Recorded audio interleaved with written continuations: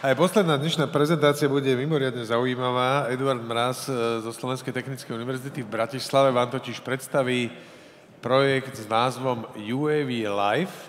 A cieľom toho projektu je, bolo, neviem, v akom štádiu sa momentálne nachádza, je hľadanie možností využitia bezpilotných lietajúcich prostriedkov v boji s pandémiou covidu. Nech sa páči, máte slovo.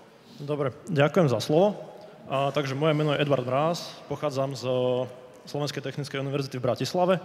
Vlastne pôvodne to mal byť náš pán profesor Duchoň, ale teda zastupujem ho, lebo sa nemohol zúčastniť. Konkrétne som z fakulty elektrotechniky a informatiky a porozprávam niečo o projekte UAV Life.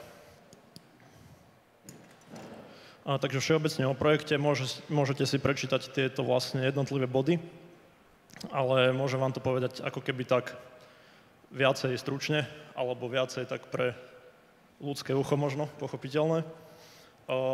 Vlastne jedná sa o prevoz biologického materiálu pomocou dronov, alebo teda pomocou bezpilotných letajúcich prostriedkov a ide teda takisto, ako to už bolo nejaké prezentácie predo mnou, tak je to vlastne autonómne fungovanie, by to malo byť. Lepšie sa to dá vysvetliť na tejto schéme, teda vlastne tu môžeme vidieť, že čo všetko ten projekt vlastne zahrňa. Čiže vidíte, že začíname úplne od takého nízkeho levelu, od takého o, nízkeho riadenia, to znamená, že sa rieši samotný pohon dopravného prostriedku, nejaké modulárne príslušenstvo. Mm, to znamená, že keď má ten dron fungovať autonómne, musí mať na to príslušné senzory, ktoré spomeniem aj neskôr musí mať automatizovanú základňu, samozrejme táto musí byť uspôsobená na to, aby dokázala mm, vlastne nejak spolupracovať, alebo ktorá je navrhnutá na to, že berie, berie ohľad na to, aby tam mohli byť nejaké tie biomedicínske vzorky. A potom teda sa navrhuje samotný dopravný prostriedok, čo je teda konštrukcia samotného drona, riadenie dopravného prostriedku, to už je teda, to je dosť veľká ako keby časť, keďže sa jedná o nejaké autonómne riadenie, tak je to teda tá už spomínaná lokalizácia, navigácia a tak ďalej. Potom sa taktiež uvažuje s použitím viacerých mm, lietajúcich prostriedkov, teda flotily, alebo sa dá inak nazvať, že swarm.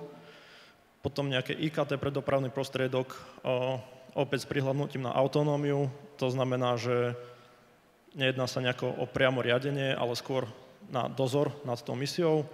A potom samozrejme m, mm, treba vyriešiť legislatívu, o, biomedicínske požiadavky, keďže ešte raz spomeniem, že sa jedná o prevoz biologického materiálu a teda nemalou časťou sú individuálne testy, ktoré zaberajú možno časovo najviac. Čiže môžem spomenúť partnerov projektu, teda je to STU v Bratislave, Žilinská univerzita, spoločnosť Aeroptech SRO a nezisková organizácia Medirex Group Academy. Mm, čiže úlohy STU, takisto ich tu vidíte. Ja vlastne sa budem venovať potom tomu, čomu sa venujem na tom projekte, ako keby to vám skúsim viac približiť, čo zaujímavé sa tam robí.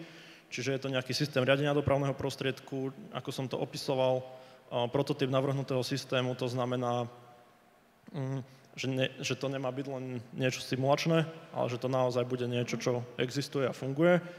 A súbor optimalizačných opatrení, ako to už bolo predo mnou spomenuté, tak tá autonómia vyžaduje pomerne mm, zložité operácie a zložité algoritmy, ale musia byť vy, vykonávané on-board, čiže teda veľká väčšina z nich musí byť vykonávaná on-board počas letu.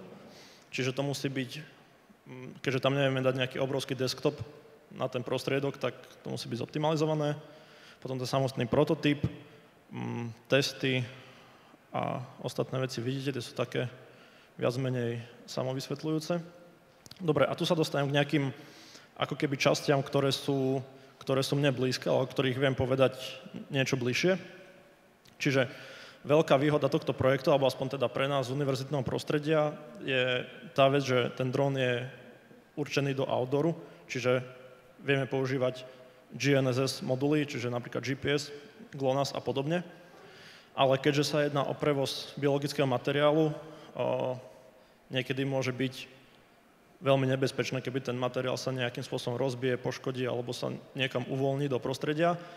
a preto musí byť aj alternatívny zdroj odhadu polohy alebo alternatívna lokalizácia v prípade, že dojde nejakému rušeniu GPS signálu alebo mm, poruche na lokalizácii alebo v prípade sa dostane do prostredia, ktoré, v ktorom GPS alebo GNSS module nemôžu byť použité. Mm.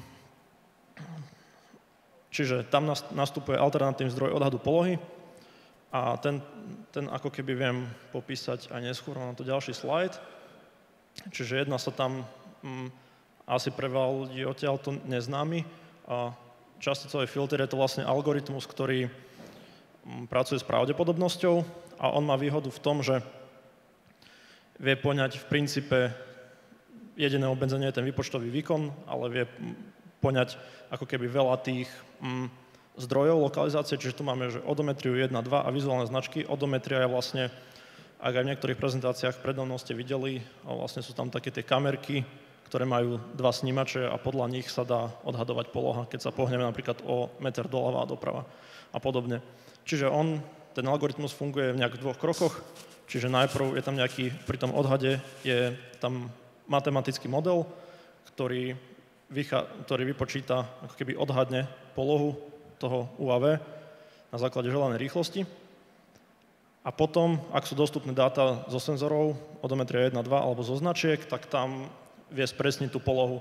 A výhoda toho je, teda, že nemusia byť vždy všetky zdroje k dispozícii a stačí, keď je jeden, alebo dokonca on dokáže fungovať len na základe toho matematického modelu niekoľko, ne, nejaký čas.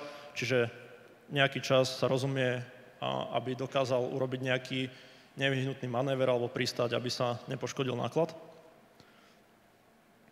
A ďalšia teda lokalizácia je vec, keď sa chceme presunúť z bodu A do bodu B, tak musíme vedieť, že sme na bode A, alebo že už sme prišli do bodu B, ale ako sa z, tých, z toho bodu, keď táto časť nám funguje, ktorú som opísal na predchádzajúcom slade, tak musíme vedieť, že, teda, že ako sa tam dostaneme.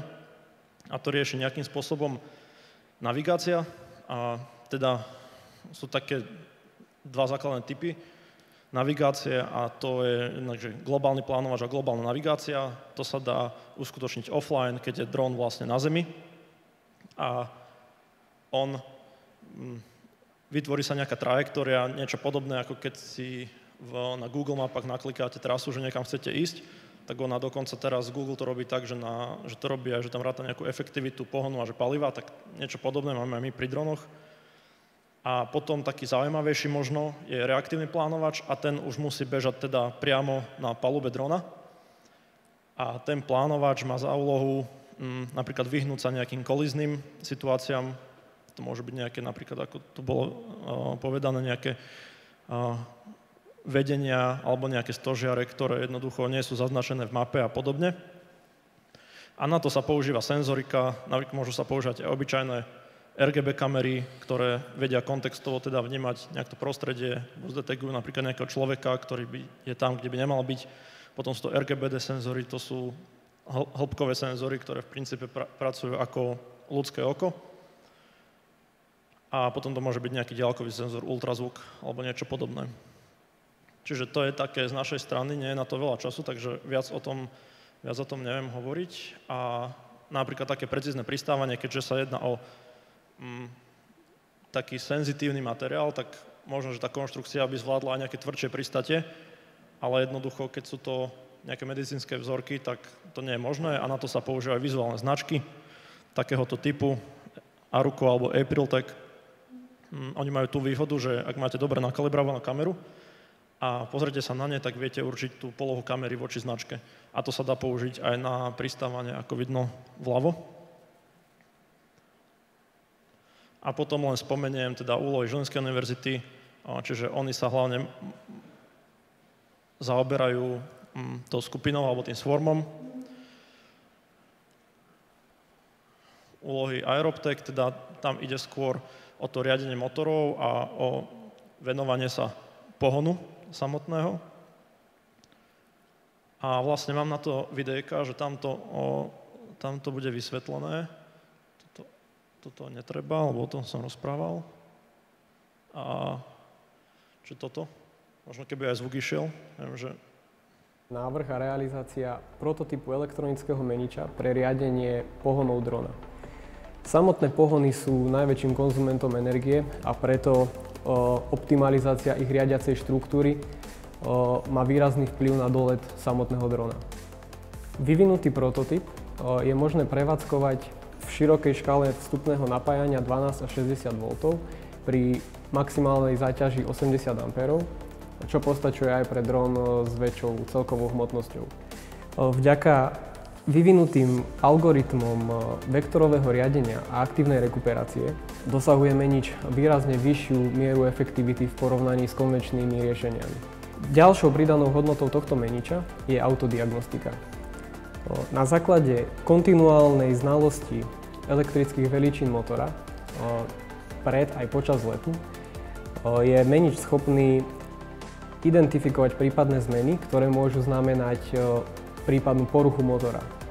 Takýto motor je potom možné včas vymeniť a tým predísť prípadným fatálnym následkom, ktoré by nastali, ak by motor zlyhal počas letu, čo samozrejme zvyšuje aj bezpečnosť samotnej prevádzky drona.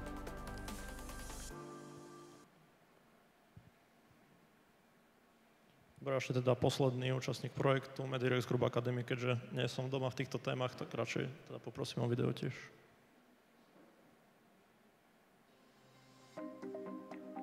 Medirex Group Academy sa dlhodobo venuje diagnostike alebo výskumu v oblasti diagnostiky vzoriek a jednou z tých výskumov alebo záujmov je aj výskum a inovácie v transporte vzoriek. A do toho splňa, do toho spadá aj e, transport pomocou dronov alebo nepilotovaných lietajúcich zariadení. A preto sme sa do tohto projektu zapojili. Máme tam dve úlohy. Jedna úloha je stanoviť vplyv takéhoto transportu na, na vzorky a na jednotlivé sledované biologické markery. A druhou dôležitou úlohou je vlastne vybudovanie dátového centra, ktorého, ktoré bude kontrolovať vzorky pred letom, počas letu a po lete a bude stanovovať, ktoré vzorky prešli alebo neprešli bez zmeny biologických markerov. Budeme v projekte skúmať 1000 vzoriek, z ktorých 500 bude vzoriek krvi, 200 bude vzoriek kanív, baktérií, respektíve moču. V krvi budeme sledovať základné biochemické parametre, ako je, ktoré sa sledujú u pacientov, či už je to cholesterol, bilirubín, triacylglyceróly a podobné. A zároveň sa budú skúmať taktiež aj sedimentácie alebo krvné obrazy. Zaujímavé sú baktérie, kde budeme vlastne stanovovať mikrobiomy pred a, alebo teda let, pri lete v drone alebo pri konvenčnom transporte a budú sa tieto hodnoty porovnávať. Toto všetko získané a namerané dáta budú použité pri softvérovom vybavení dátového centra, ktoré bude vlastne spracovávať vzorky a bude ich porovnávať s referenčnými hodnotami získanými v prvej časti projektu. Dátové centrum je momentálne v štádiu verejného obstarávania. Pri druhej exante kontrole to znamená, že v dohľadnej dobe bude dodaný aj hardware.